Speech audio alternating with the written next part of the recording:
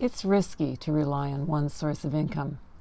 For decades, we've been executive recruiters, and we know that people are one decision away from being let go, one decision away from having to start over.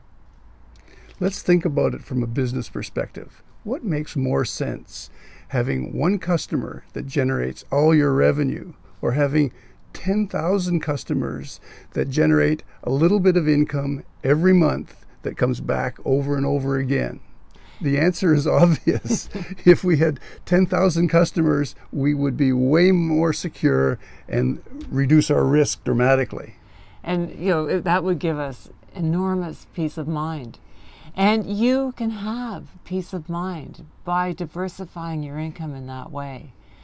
By being part of our online community, you can learn how to create 10,000 thousands of customers have thousands of customers come to you.